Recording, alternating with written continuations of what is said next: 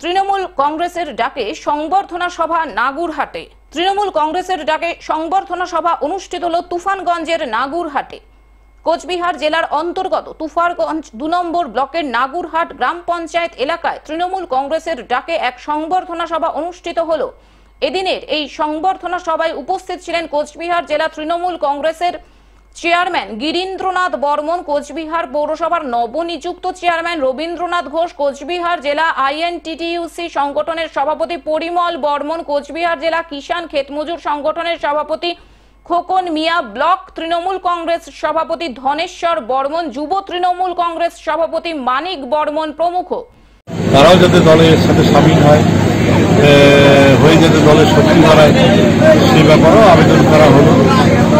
এবং ভবানীর যে প্রকল্প আছে সামাজিক প্রকল্প সেই প্রকল্পগুলোর কথা আমাদের কর্মীরা যাতে তুলে ধরে মানুষের কাছে প্রচারে আনে সে ব্যাপারে সমস্ত কর্মীদের কাছে আবেদনও জানানো হলো কুচবিহার থেকে সুখেন্দু গোপ সরকারের রিপোর্ট গ্লোব নিউজ।